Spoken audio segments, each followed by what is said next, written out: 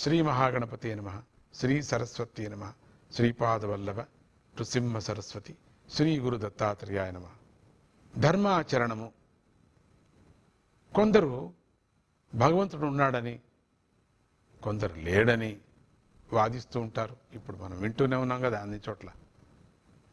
ఒక్కొక్కసారి మన మనస్సుకే అప్పుడప్పుడు సందేహం వస్తుంది. నిజమేమో లేడేమో అని అప్పుడప్పుడు అనిపిస్తూ ఉంటుంది. కొత్తగా విజ్ఞాన శాస్త్రంలోకి ఎవరు అడుగు పెడుతున్నా ఆ కుర్రవాళ్ళకి ఉపాధ్యాయుడు భూమి గుండ్రంగా ఉందని చెప్తాడు. మన భారతదేశానికి క్రింద సూటిగా అమెరికా దేశం ఉందని అక్కడ కూడా మనుషులు ఉంటారని చెప్తారు. భూమి యొక్క గురుత్వాకర్షణ శక్తి వల్ల వాళ్ళు పడిపోరని వి- వివరిస్తాడు కూడా. ఆకర్షణాశక్తితో వాళ్ళంతా ఉన్నాము. తల్ల కిందలు ఉన్నారయ్యా అక్కడ కూడా. కానీ కింద పడిపోరంటే ఆకర్షణ శక్తి ఉంది అని. కొంతమంది ఉపాధ్యాయుడి మీద విశ్వాసంతో నమ్ముతారు. కొద్దిమంది ఈ విషయాన్ని నమ్మరు. వారు నమ్మాలంటే వాళ్ళు స్వయంగా అమెరికా వెళ్ళి రావాలి. అంతకన్నా మార్గం లేదు అనిపిస్తుంది. స్వయంగా చూశాక నమ్మల్సిందే కదా. అప్పుడు చూశాం కదా ప్రత్యక్షంగా అందుకని.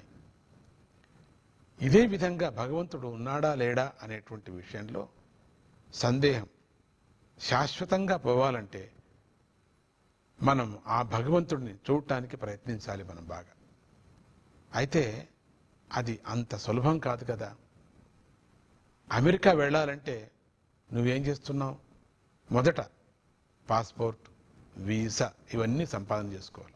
తర్వాత ఎట్లా వెళ్ళాలనేటువంటిది అంతకుముందు వెళ్ళిన వారిని నువ్వు కనుక్కుంటూ ఉంటావు. ఎట్లా వెళ్ళావు నువ్వు? ఏ ఫ్లైట్లో వెళ్ళావు? ఎంత అవుతుంది అని. అదేవిధంగా భగవద్ దర్శనం కావాలంటే ధర్మ మార్గాన్ని ఆ మార్గాన్ని అనుసరించిన సద్గురువులను ఆశ్రయించి వారి యొక్క సహాయంతో కృష్ణ చేయాలి బాగా. వారు చెప్పిన విధంగా ధర్మాచరణ చేయాలి. నీకు తోచిన మార్గంలో నువ్వు వెళతానంటే కుదరనే కుదరదు ఎందుకు పాస్పోర్ట్లో అట్లా వెళ్ళొచ్చు కదంటే కుదరదు. నేను ఫ్లైట్లోనే వెళ్ళాలా? బస్సులో వెళితే లేదా కుదరదు. స్వతంత్రంగానే ఆచరించుకుంటామనే వారికి గమ్యం వాళ్ళకి అందనే అందదు.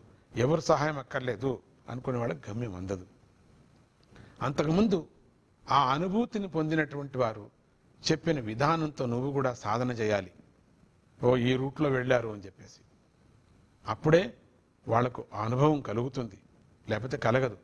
నేను ఇష్టం వచ్చినట్టు చేస్తాను. నాకేదో తోచింది. ఇదే మంత్రమే పఠిస్తాను. గురువు ఎందుకు? గురువు అక్కర్లేదు. అనే తాను స్వతంత్రంగా చేసినప్పుడు మార్గం తెలీదు.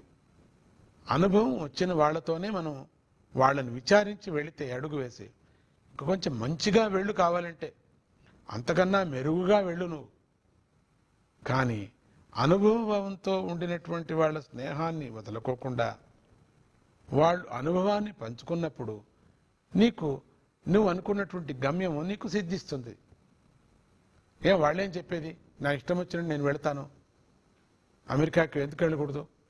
ఏం పాస్పోర్టే కావాలన్నా టికెట్టే కావాలన్నా ఫ్లైట్లోనే వెళ్ళాలన్నా అట్లా అంటే నువ్వు వెళ్ళలేవు. అయితే ఆధ్యాత్మిక రంగంలో కూడా అంతే. ఏం ఇదే చేయాలన్నా ఇన్ని లక్షలు చేయాలన్నా ఏకాగ్రత? ఇన్ని లక్షలు చేస్తేనే దేవుడు దొరుకుతాడా? ఇంత ఇంత వ్రతం చేస్తేనే అవుతుందా? నా ఇష్టం వచ్చిన నేను చేసుకుంటానంటే నీకు దొరకడు. నీకు అందదు అనుభూతి. వాళ్ళు ఏ అనుభూతిలో ఏ మార్గంలో వెళ్ళాడో ఈ శిష్యులకు అది బోధిస్తారు. తోటి స్నేహితుడికి తోటి మానవుడికి తన యొక్క ఎక్స్పీరియన్స్ని చెప్తాడు. "నేను అట్లా వెళ్ళొద్దండి చాలా బాధపడతారు ఇట్లా వెళ్ళండి అని. ఆ విధంగా మనం చేస్తే మనం గమ్యం చేరుకుంటాం. మనం వెళ్ళవలసినటువంటి ఊరికి మనం చేరుకుంటాం. లేకపోతే మనం వెళ్ళలేం. ఆధ్యాత్మ రంగము అంతేనే. సద్గురువుని ఆశ్రయించి ప్రతి మాట నమ్మి ప్రతి అడుగును అనుసరించినప్పుడు మనకు నిజమైనటువంటి భగవద్ దర్శనం నీకు కలుగుతుంది. ఆత్మ ఆనందం కలుగుతుంది. ఆధ్యాత్మ స్థితి నువ్వు ఎదుగుతావు. భగవద్ దర్శనం తప్పక నీకు కలుగుతుంది. మంచి మంచి పత్రికల్లో ఉద్యోగుల కోసం ప్రకటనలు చేస్తూ ఉంటారు. దానిలో వారికి కావలసినటువంటి అర్హతలు రాస్తూ ఉంటారు. మూడో పేజో నాలుగో పేజీ దానికోసం పెట్టింటారు. మొదట ఉద్యోగం కావలసిన వాడు మొదట ఆ పేజే తీస్తాడు. ఎవరెవరికి ఏం కాదో దాంట్లో ఉంటాయిలేండి. పిక్చర్కి వెళ్ళేవాడు పిక్చర్ పేజే తీస్తాడు. రాజకీయంగా వెళ్ళేవాడికి రాజకీయందే మొదటి మొదటి పేజ్ చూస్తాడు. అడ్వర్టైజ్మెంట్ వెళ్ళేవాడికి అడ్వర్టైజ్మెంట్కి వెళ్తాడు. అట్లా. ఉద్యోగం సంపాదించే ఉద్యోగానికి ఆ ఆ కాలం చూస్తూ ఉంటాడు. దాంట్లో వ్రాస్తూ ఉంటారు. అట్లనే ఈ ప్రపంచంలో ఉండటానికి అసలైనటువంటి అర్హత ఏది? లౌకిక ఆధ్యాత్మిక రంగ ప్రవేశానికి అర్హతలు ఏవి అనేటువంటిది మనం తెలుసుకుందాం. ఈ కలికాలంలో మనిషి సుఖంగా బ్రతకాలంటే లౌక్యం కావాలి. కొంచెం జ్ఞానం కావాలి. రెండోది ముఖస్థుతులు కూడా కావాలి అప్పుడప్పుడు వాళ్ళు పనికి రాకపోయినా అప్పుడప్పుడు పొగడాలి వాళ్ళని. ఏం చేస్తావు? కొంతమంది ఆధ్యాత్మిక రంగంలో కూడా విజయం సాధించటం కోసం పెద్ద పెద్ద గురువులను ఆచరిస్తూ ఉన్నారు. అట్లా పేరు కోసమో స్వార్థంతోనో గురువులను ఆశ్రయించే వారిని నిజమైనటువంటి ఆధ్యాత్మ ప్రగతి లభించదు వాళ్ళకి. ఏదో పెద్ద గురువు అని ఆయన ఆశ్రయిస్తే కలగదు. స్థిరచిత్తంలో ఉండటం మృదుత్వము సహనశీలం అనేవి లౌకిక జీవనంలో ఉండాల్సినటువంటి సద్గుణాలు. ఇవన్నీ దీన్ని పెట్టుకొని నువ్వు ఎతుకు. ఇవే లేక ఊరికే ఎతకటం ప్రయోజనం లేదు నీకు. అంటే కనీసం బయట వారికైనా మృదువుగా ఉండాలి. ఎదుటి వారి మాట వింటున్న వింటూ ఉంటున్న ఉంటున్నా కూడా తనకు కావలసినటువంటి లక్ష్యం పట్ల స్థిరంగా ఉండాలి. అంటే లోపల ద్వేషం ఉన్న పైకి మాత్రం సహనశీలిగా ఉండాలి అది బాగా జ్ఞాపకం పెట్టుకో. లౌకికంలో బతకలేవు లేకపోతే. అలా ఉంటూనే లౌకిక జీవనంలో నువ్వు రాణించగలవు బతకగలవు. కానీ ఆధ్యాత్మిక రంగంలో విజయం సాధించాలంటే సాధకుడికి ఇంకేముండాలా? వైరాగ్యము శీలము జ్ఞానము చాలా ముఖ్యమైనటువంటి ఈ మూడు గుణాల గురించి కొంచెం మనం తెలుసుకుందాం. మొదటిది వైరాగ్యం. వైరాగ్యం అంటే లౌకిక జీవితం అశాశ్వ ఈ గ్రహింపు లేని వాడికి ఆధ్యాత్మిక రంగంలోకి ప్రవేశమే లేనే లేదు. ఇది అర్హత. రెండవది శీలం. లౌకిక జీవనంలో వంచనను వదిలిపెట్టడమే శీలము. అప్పుడే వైరాగ్యాన్ని అందుకోగలము. మూడవ గుణం విజ్ఞానం. లౌకిక రంగంలో కంటే ఆధ్యాత్మిక రంగంలో జ్ఞానానికి ప్రాముఖ్యం ఎక్కువ కదా. లౌకిక జీవనంలో మీ పనులు పరిశుద్ధంగా ఉంటే చాలు. కానీ ఆధ్యాత్మిక జీవనంలో మీ ఆలోచనలు కూడా శుద్ధంగా ఉండాలి. ఇవే ఆధ్యాత్మిక రంగ ప్రవేశానికి అర్హతలు. ఈ అర్హతలను బట్టి మనం ఇంకా ఆధ్యాత్మిక రంగంలోకి ప్రవేశించామో లేదా అని మనం బాగా తెలుసుకోవచ్చు. దాని నుంచి బాగా పరీక్ష చేసుకోవచ్చు. ఒకవేళ ప్రవేశిస్తే ముందుకు నడుస్తున్నామా లేదా అని కూడా తెలుసుకోవచ్చు.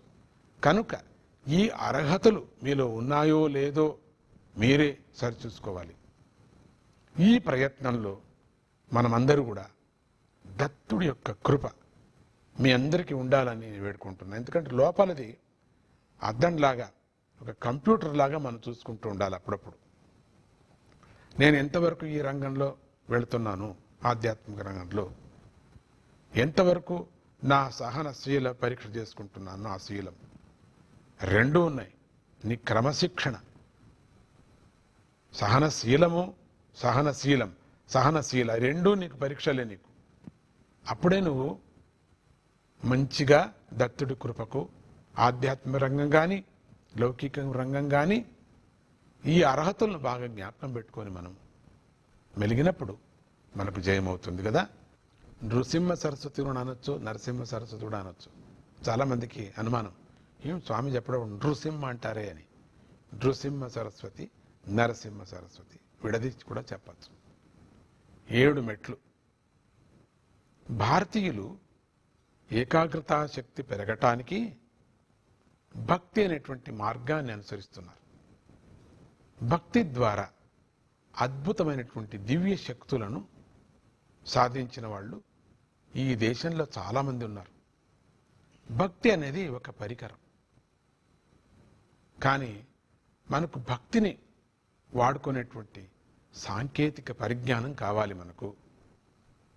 దేవా నిన్ను ధ్యానించే శక్తి నువ్వు అని దేవుణ్ణి శక్తి కొద్దీ ప్రార్థించు. వేరే ఏమీ కోరకు. అప్పుడు అన్ని శక్తులు నీకు సిద్ధిస్తాయి. దేవుణ్ణి ఎట్లా మనం మొదట కోరిక అదే కోరుకోవాలి. నిన్ను ప్రార్థించే అటువంటి గుణము నాకు ఇవ్వు అని. అదే అసలు రహస్యం. తర్వాత కోరికలను కోరుకోవచ్చు మనం. నీలో అంతర్గతంగా ఉన్నటువంటి శక్తులు వికసించటానికి కొన్ని మెట్లు ఉన్నాయి జాగ్రత్త గమనించండి. అవి నీకు భగవంతుని ఎందు భక్తి ఉండాలి. మొదటిది అది కండిషన్. ఆ భక్తి ఏకాగ్రతగా మార్పు చెందాలి. ఏకాగ్రత అనే శక్తిని మళ్ళీ భగవంతుని ధ్యానించేందుకు మాత్రమే బాగా వినియోగించాలి ఇవి. ఈ నాలుగవది ఈ ధ్యానాశక్తి దైవకృప వల్ల మాత్రమే పెరుగుతుందని నీకు తెలియాలి. ఐదు ఈ గుర్తింపుతో ధ్యాన శక్తిని ఇవ్వమని నీవు స్వామిని ప్రార్థిస్తూ ధ్యానంలో లీనమైపోవాలి. ఆరోది ఏ దశలోనూ నీ ధ్యాన శక్తిని కానీ ప్రార్థనా శక్తిని కానీ ఏదో ఒక శక్తి కోసం లేదా కొన్ని శక్తుల కోసం వినియోగించకూడదు. అది అది జాగ్రత్తగా ఉండాలి. ఏడు నీవు ప్రార్థించే భగవంతుడే దేవదేవుడు అనేటువంటి గుర్తింపు కూడా నీకు ఉండాలి. దేవదేవుడు అంటే ఏ విధమైన అవధులు లేని అఖండ అద్వితీయ పరమాత్మ స్వరూపం అనేది ఉం- దీని యొక్క అర్థం. దీన్ని నిదానంగా మనం చెప్పుకుందాం. చాలా పెద్ద సబ్జెక్ట్ ఇది. ఈ మెట్లను క్రమక్రమంగా అధిగమించగలిగితే సృష్టిలో గల సమస్త శక్తులు నీకు వశమవుతున్నాయి. అంతేకాదు అవధులు లేని దైవాన్ని ధ్యానించడం ద్వారా నీవు కూడా దైవంలోని భాగమే అయిపోతున్నావు. అందుకని ఇక్కడ దత్త సద్గురు కృపాబలం వల్ల ఈ ఏడు మెట్లు మీకు ఆచరణలోకి అందుగాక అని స్వామిని మనం వేడుకుంటున్నాం. ఒక్కొక్క మెట్లుని ఒక్కొక్క కండిషన్స్ అంటే ఇక్కడ చెప్పుకొని వస్తున్నారు మొదటిది మనం అనుకున్నాం కదా. భగవంతుడు ఎందు పరమాత్ముడు ఎందు నీకు అర్హతలో మొదటి భక్తి ఉండాలి. ఏదో అయిపోతాయన్నీ కూడా వచ్చేస్తుంది మంత్రం వచ్చేస్తే అని. భక్తి అంటే సర్వస్వమును అర్పణ చేసుకున్నావు అని. ఇక్కడ మనస్సును బుద్ధిని శరీరాన్ని అంత ఇంద్రియాల్ని ఇవన్నీ నీ సృష్టిని నాది కాదు. ఇక ఏదైనా బుద్ధిలో కలిగితే కూడా నువ్వే దానికి అనేటువంటి తాదేప్య భావన స్వామికి అర్పణ చేసుకోవటం. ఆ భక్తి ఏమవుతుంది? ఏకాగ్రతగా మార్పు చెందాలి. ఏకాగ్రత అయిపోవాలా? మాటి మాటికి నోటితో చెప్పడం కాదు. ఆ భావన చేస్తూ ఏకాగ్రతను పొందాల? ఏకాగ్రత అనే శక్తిని మళ్ళీ భగవంతుని ధ్యానించేందుకు మాత్రమే ఆ ఏకాగ్రత వేరే చోటకు ఉపయోగించకూడదు. చాలామంది ధ్యానం చేస్తారని కళ్ళు మూసుకొని పాతకాలంతా జ్ఞాపం చేసుకుంటుంటారు. అది ధ్యానం కాదు కదా. నీకు కలిగిన అనుభూతి భక్తి ఉంది కదా? ఏకాగ్రత? దాన్నే పరమాత్ముడి ధ్యానించేది ధ్యానించేందుకు మాత్రమే చాలామంది ఏకాగ్రత కుదురుతుంది. కూర్చుంటాడు మూడు మూడు గంటలు నాలుగు నాలుగు గంటలు. కానీ ఏదో వ్యాపారం గురించి ఏదో ఇంద్రియాలని గురించి యోచన చేయటం కాదు. అది భగవంతుడి ధ్యానాని కోసమే వినియోగించాలా. ఇక ఒక్కొక్క పాయింట్ నిదానంగా మనం ఇంకొక పరి మనం వివరిస్తాము. ఇన్ని ఇన్ని కండిషన్స్ ఉంటే నువ్వు నిజమైనటువంటి ఆ ఏడు మెట్లు నువ్వు దాటినట్టు దాన్ని సప్తగిరిని కూడా అంటూ ఉంటాం మనం దాన్ని. అట్లనే సప్తస్వరము అంటూ అంటుంటాం అట్లనే మూలాధారాన్ని శాస్త్రం వరకు దీన్ని కుండలిని శక్తి అని కూడా చక్రాలు కూడా అంటుంటాం విద్య గర్వము. ఏంటిది? బాగుంది కదా? విద్యకు వినయమే ప్రధానము. అందరూ చెప్తున్నారు. హృదయంలో వినయం బలంగా ఉంటే వాడి విద్య ఎట్లా ఉంటుందంటే కొంచెం లోపంగా ఉన్నా కూడా అది నమస్కరించదగినదే అన్నారు. అంటే వంద్య అన్నారు. నమస్కారం చేయాలా? గర్వ ఆ గౌరవం వాళ్ళకు ఉంటుంది. అదే హృదయం నిండా గర్వం ఉంటే వాడి విద్య పరిపూర్ణమే అయినప్పటికీ కూడా అది వంధ్య అంటే చంపడం అన్నారు. దీనికి నిదర్శనంగా అది గర్వం ఉంది కదా అందుకని. ప్రయోజనం లేదు. పండ్లు వదలనటువంటి పెద్ద మామిడి చెట్టులాగా ఏ ఎందుకేం ప్రయోజనం అన్నట్టుగా. దీనికి నిదర్శనంగా భారతంలో మనకు చక్కని కథ కనిపిస్తుంది. చదువుకునేటువంటి రోజుల్లో అర్జునుడికి అశ్వత్థామకి మంచి పోటీ ఉండేది. ఇద్దరు అస్త్రాభ్యాసం నేర్చుకుంటున్నారు. బ్రహ్మశిరోనామకాస్త్రం అనేటువంటి ఒక శక్తివంతమైన అస్త్రం ఉండేది. ఆ అస్త్రాన్ని బోధించమని అశ్వత్థామ ద్రోణాచార్యుణ్ణి అనేక సార్లు ప్రార్థన చేశాడు. అంటే అది బ్రహ్మాస్త్రం కంటే పై అస్త్రం అది. అందువల్ల ద్రోణాచార్యుడు త్వరగా దాన్ని ఉపదేశించలేనే ఇప్పుడే తా- ఇప్పుడే వద్దు అటువంటిది మంత్రం వద్దు అని. చివరకు ఒక రోజున ఆయన అర్జునుడికి అశ్వత్థామికి కూడా ఆ అస్త్ర ప్రయోగం ఉపదేశించేశాడు. ప్రయోగంతో పాటు ఉపదేశించవలసినటువంటి ఉపసంహార విధానం మాత్రం ఉపద ఉపదేశించలేదు. ఎక్కువ పెట్టడం వేయటం దాన్ని ఉపసంహారం చేసుకోలేని మంత్రం చెప్పలేదు. అస్త్రం యొక్క ఉపసంహారం తెలిస్తే మాత్రమే ఆ అస్త్రం ఫలిస్తుంది. అశ్వత్థామ చాలా బాధపడ్డాడు. ఆ రోజుల్లోనే వారి వయస్సు వాళ్ళ వయస్సు వాడే అయినా ఆ శ్రీకృష్ణుడు సుద సుదర్శన చక్రాన్ని సంపాదించాడని అశ్వత్థామకు తెలిసిపోయింది. ఇది విని చాలా ఆశ్చర్యపడ్డాడు. కృష్ణుడి దగ్గరికి వెళ్ళి ఏమయ్యా కృష్ణ నువ్వేదో సుదర్శన చక్రం సాధించావని నేను విన్నాను. చాలా సంతోషమైంది. నేను కూడా అసాధ్యమైనటువంటి బ్రహ్మశిరోనామకాస్త్రం సాధించాను నేను. కాసేపు నువ్వు నేను అస్త్రాలు మార్చుకుందామా అన్నాడట. చాలా బుద్ధివంతుడు మార్చుకుందామా అన్నాడట. శ్రీకృష్ణుడికి అశ్వత్థామ యొక్క హృదయంలో ఉన్నటువంటి గర్వము అసూయ స్పష్టంగా తెలిసిపోయాయి. ఆయన ఏమీ తెలియనట్లుగా నీ అస్త్రాన్ని నేను భరించలేనయ్యా. చాలా పెద్ద అస్త్రం ఇది. నీకు కావాలంటే సుదర్శన చక్రం పూజా మందిరంలో ఉంది తీసుకో అన్నాడు. నాకేమొద్దు నీ చక్రం నాది కావాలంటే నువ్వు తీసుకో పర్వాలేదు. నాకు మాత్రం వద్ద చాలా పెద్ద అస్త్రం నీది ఇంకేం కావాల్సింది? అశ్వత్థాము సంతోషపడిపోయాడు గర్వంగా పూజా మందిరంలోకి వెళ్ళి ఆ చక్రం తీసుకోబోయాడు. దాన్ని తాగుతూనే దాని తేజస్సుకి ఒళ్ళంతా మంటలెక్కిపోయాయట. ప్రాణభయంతో నాకు ఈ చక్రం వద్దని వదిలేసి వెళ్ళిపోయాడట.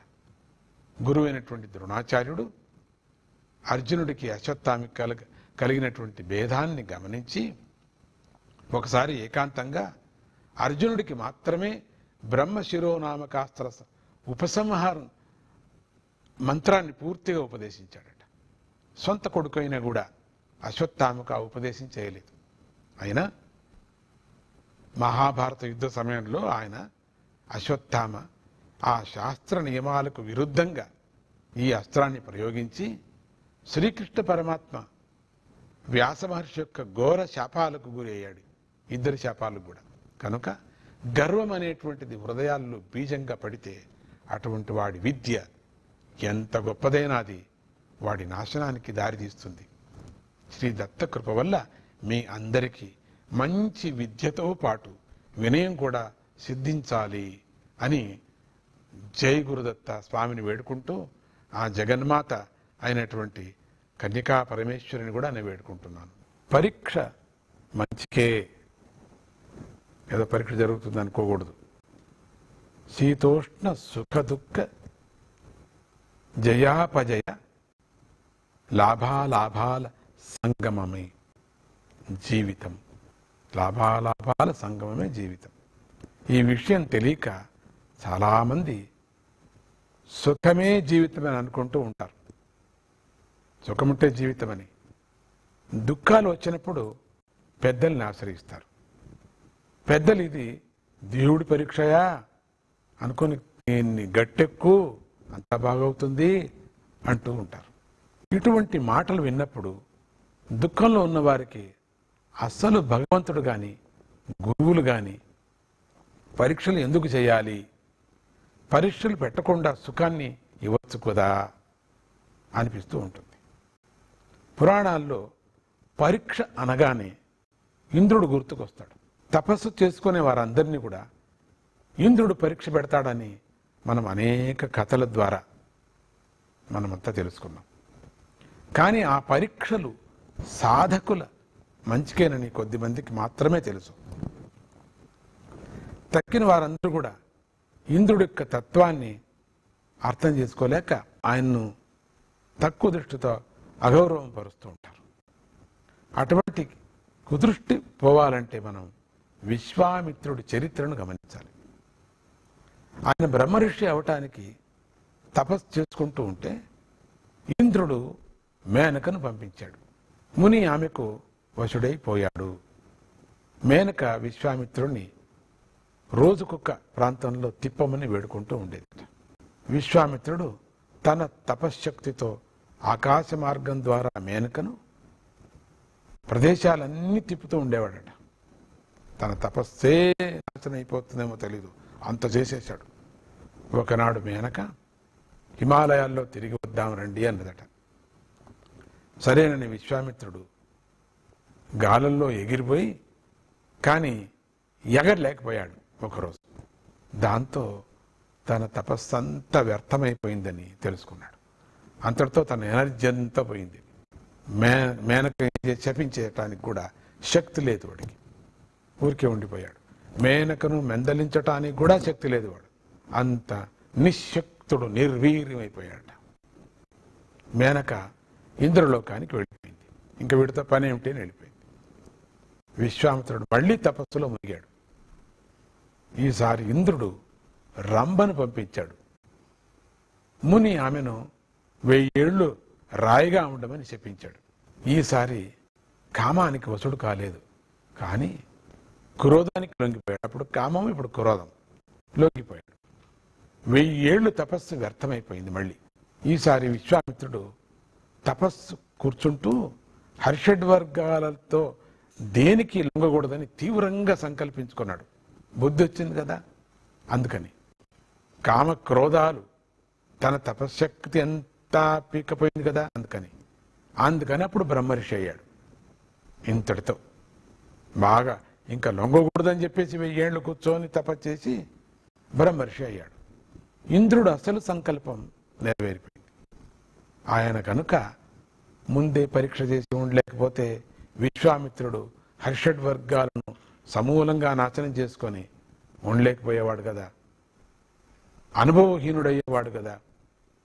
అనుభవాన్ని కలిగించి సాధకుడికి మెట్టు మెట్టుగా పెంచి శాశ్వత స్థానంలో స్థిరంగా కూర్చోబెట్టడం కోసమే భగవంతుడి యొక్క సంకల్పం. గురువులు కూడా శిష్యుల విషయంలో కూడా ఇటువంటి సంకల్పమే ఉంటుంది. అందువల్ల కష్టకాలంలో కష్టాలని పరీక్షగా భావించి గట్టెక్కాలని కానీ మనం నిందించరాదు. గట్టెక్కడానికి ప్రయత్నించాలి. పరీక్షాహితకారిణి. అంటే భగవంతుడి పరీక్ష మంచి చేసేది అని తెలుసుకోవాలి. నిందించకూడదు భగవంతుడిని గురువుని. జై గురుదత్త. శ్రీ